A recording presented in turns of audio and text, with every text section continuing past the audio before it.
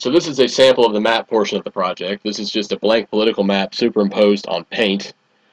We decided not to use Animaps after we decided that it would be way too complicated for any teacher or student to figure out how to use for this purpose. So we'll start off by showing the geographic location of the slave trade and the triangular trade what exactly that meant. So right here you have Western Europe, wrong line. Right here you have Western Europe, where all this originated from the mother countries of the so-called slave trade and colonialism. You have Britain here, France here, Belgium's right here above France, there's Germany, Italy, and so on. Here is, I'll circle West Africa, where a lot of the slaves that were exported to the Americas came from.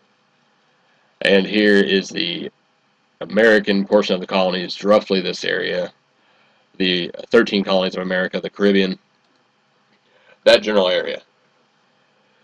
How this went was, very generally, Europe sent manufactured goods to Africa. The slaves would then be exported from Africa to the American colonies.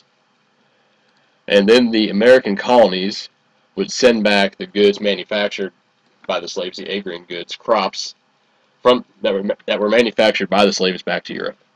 This creates this triangular trade. Now the students can, this is just a very simple way of putting this out there. Um, they can do it in writing and text on a, on a program, or they can do a screencast video like this where they narrate and tell exactly how this works. So we'll back out of that. Then I would like them to be able to show how exactly or where exactly these colonies were located at. If you're using this kind of format, all they have to do, or any kind of format, all they have to do is indicate basically what territory in Africa belonged to what country.